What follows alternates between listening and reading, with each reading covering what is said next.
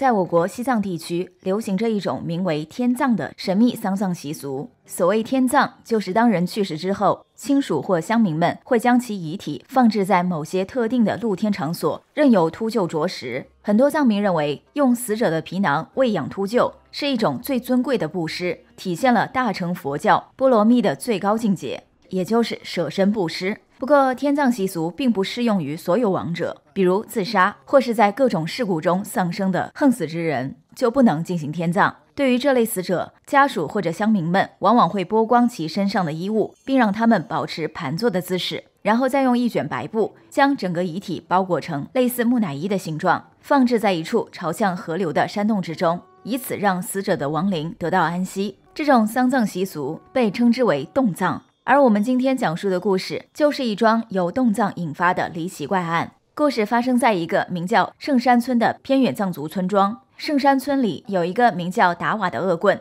达瓦不务正业，平时靠着已故父母留下的一点积蓄放贷为生。除了不务正业之外，他还有酗酒和家暴的恶习，动不动就辱骂和殴打自己的妻子卓雅。这天中午，喝醉酒的达瓦再次因一点琐事对卓雅拳脚相加，还将吃剩的半碗稀饭泼了卓雅一脸。发泄完怒气后，达瓦就骑着摩托车前往城里浪荡，整夜都没有回家。谁知第二天上午，两名村民抬着他的尸体找到了卓雅。据两人所言，他们是今天早晨在雪山脚下发现了满脸血污的达瓦尸体，尸体旁边还倾倒着一辆摩托车。看上去是达瓦昨夜在骑行中摔下山路，意外致死。对于丈夫死于非命，卓雅脸上显露出了几分悲痛，心里却有一种如释重负的感觉。她很快找来喇嘛，给达瓦举行了简单的葬礼。按照当地的习俗，像达瓦这种恨死之人无法进行天葬，只能选择冻葬。于是第二天一大早，负责送葬的几名村民将被白布包裹的达瓦尸体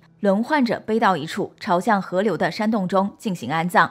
就在村民们小心翼翼地安放尸体的时候，诡异的一幕发生了。由于垫在尸体下方的一块石头意外松动滑落，致使尸体失去平衡，当即滚下山崖。旁边的村民急忙伸手想要抓住尸身，不料只抓到了裹尸布的一角，达瓦的尸体旋即从裹尸布里滚落出来，掉下了山崖。几名村民顿时被眼前的场景惊得目瞪口呆。等到他们缓过神来，探头向山崖下方张望时，结果竟然看到一名光着身子的男子，向着圣山村的方向狂奔而去。几个人都认为是达瓦诈尸，吓得匆忙逃离了山洞。回到村子里之后，他们忙不迭地将达瓦诈尸的事如实告诉了正在家里招待吊唁宾客的卓雅，以及前来吃席的村民们。众人听完几名送葬村民绘声绘色的讲述后，全都吓得慌忙离开宴席现场，纷纷回到家中，并对自家门窗进行了加固。像是担心诈尸的达瓦进屋伤人，好在当晚圣山村并未发生任何异象。不过第二天一大早，村民们惊讶地发现，达瓦的尸体竟莫名出现在了村口的玛尼堆上。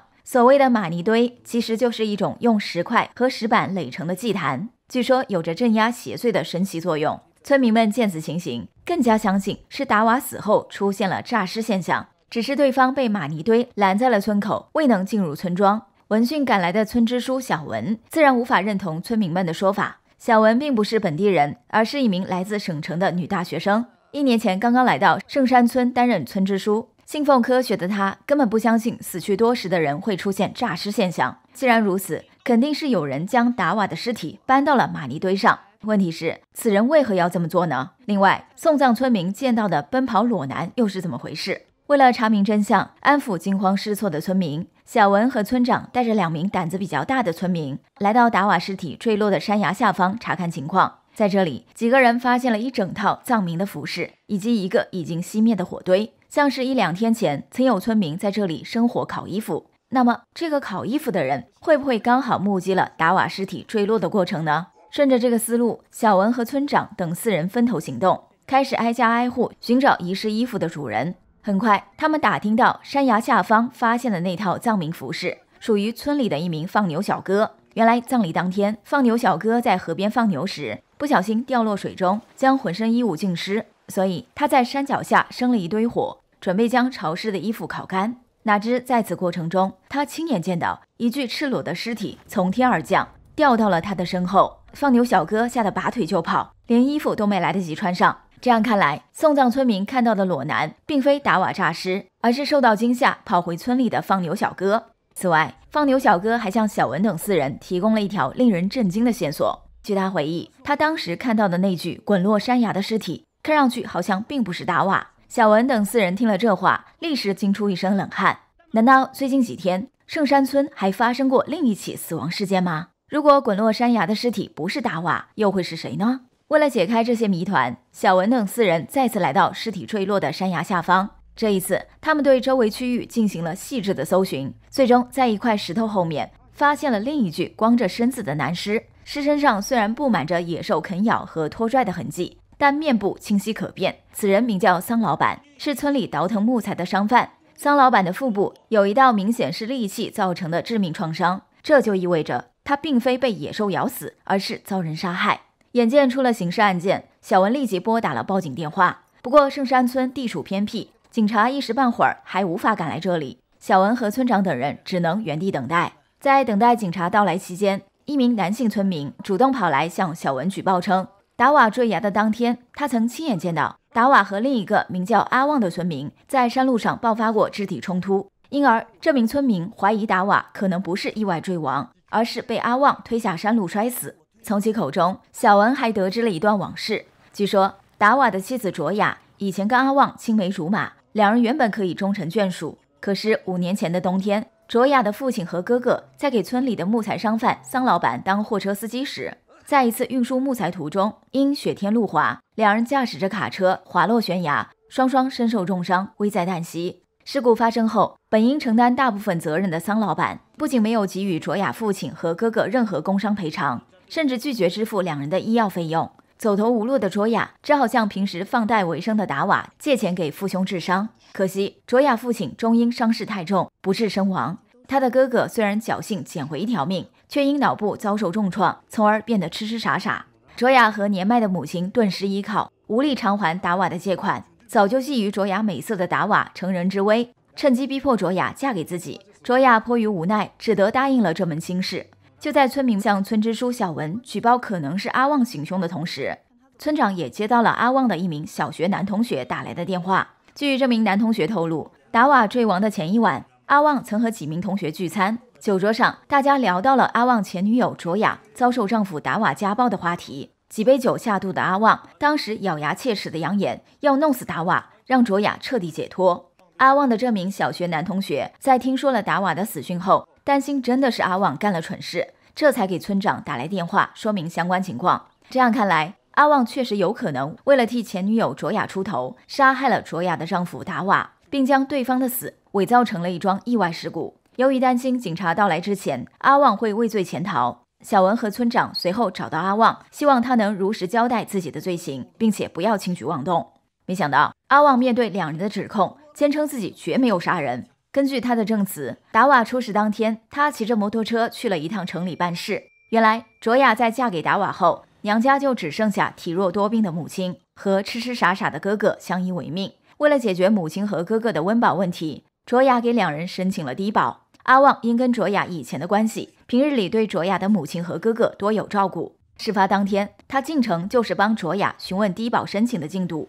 在得知卓雅的申请已经通过相关部门的审核后，阿旺兴奋地骑着摩托车返回村里，想要将这个好消息告诉卓雅。结果在半路上撞见了正打算进城的达瓦。达瓦的摩托车当时出了故障，停靠在路边。见阿旺骑车迎面而来，达瓦直接上前将他拦下，并强行要求与其交换摩托车。阿旺自然没有理会达瓦的无理要求，两人因此爆发了肢体冲突。达瓦蛮横地踢翻了阿旺的摩托车，阿旺不愿与他多做纠缠。在打了达瓦一拳后，就扶起自己的摩托车，然后骑车离开。他十分确定自己在离开时，达瓦还活着。小文和村长对阿旺的说辞将信将疑。更让两人疑惑的是，达瓦的尸体在下葬时，怎么会无端变成了桑老板的尸体呢？不料，阿旺在听到桑老板的名字后，脸上明显闪过一丝慌乱。小文注意到了他的异常，随即对他展开心理攻势。阿旺没能扛住小文的不断逼问，终于坦白了另一段隐情。事发当天，在结束与达瓦的冲突，回到村里后，阿旺径直去了卓雅的家里，想要将低保申请通过的事告诉卓雅。哪知他刚走进卓雅的家门，就看到桑老板正意图侵犯卓雅。情急之下，阿旺抄起屋内的一把菜刀，当场刺死了桑老板，而后草草清理了现场，将尸体暂时藏进了卓雅家的柴房。由于桑老板是生意人，经常好多天不回家，因而他的家人一时半会儿不会发现他的死亡。阿旺只要想办法处理掉尸体，或许就能掩盖自己的杀人罪行。哪知他还没想到处理尸体的办法，就得知了达瓦意外坠亡的消息。当时的阿旺精神处于极度恐慌的状态。急于想要尽快处理掉桑老板的尸体，为此他居然用桑老板的尸体调换了即将冻葬的达瓦尸体。在阿旺看来，只要没人知道桑老板已死，他的杀人罪行自然也就不会暴露。可是让他始料未及的是，送葬的村民在冻葬尸体过程中出现了纰漏，不小心将尸体掉下了山崖。而这一幕又刚好被正在烤衣服的放牛小哥目击。放牛小哥吓得没来得及穿衣服，便撒腿就跑。以至于送葬的村民误以为是达瓦诈尸，没敢再下山去寻找尸体。阿旺在得知消息后，又心生一计。他先是来到山崖下方，将桑老板的尸体拖到一处隐蔽的石头后面藏了起来。想必过不了几天，这具尸体就会被野兽吃得一干二净。紧接着，阿旺趁着夜色，将原本藏在卓雅家的达瓦尸体搬到了村口的玛尼堆上，企图以此坐实达瓦诈尸的传闻。这样一来，等于是完美处理掉了两具尸体。但是令阿旺万万没想到的是，放牛小哥目击了尸体掉落山崖的过程，并怀疑这具尸体不是达瓦，从而让阿旺的计划功亏一篑。听完阿旺交代完罪行之后，小文和村长让邻居将其看住，然后两人找到卓雅，向其求证阿旺的供词。出人意料的是，卓雅竟一口咬定是自己杀死了桑老板，并且想出了偷梁换柱的抛尸计划。阿旺只是为了保护他，才帮忙转移了尸体。见阿旺和卓雅各执一词，居然抢着认罪，小文和村长一时之间也无法判断究竟谁是真凶。两人决定等到警察来了再说。不过为了安抚受惊的村民，小文将大伙召集到卓雅家的院子里，向他们讲明了实情，强调根本不存在什么诈尸现象。